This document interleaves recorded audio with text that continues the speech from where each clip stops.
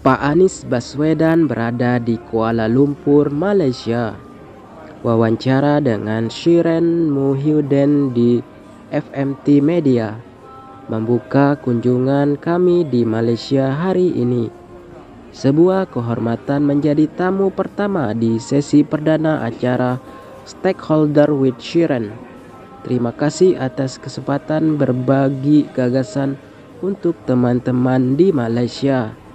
Kita tunggu hasil tappingnya, semoga tayang di YouTube juga. Sebelum itu, sore tadi Pak Anies di Taman Titi Wangsa hujan turun dengan derasnya. Tidak mengurangi kehangatan Pak Anies Baswedan berbincang dengan para pekerja migran Indonesia di Kuala Lumpur, Malaysia.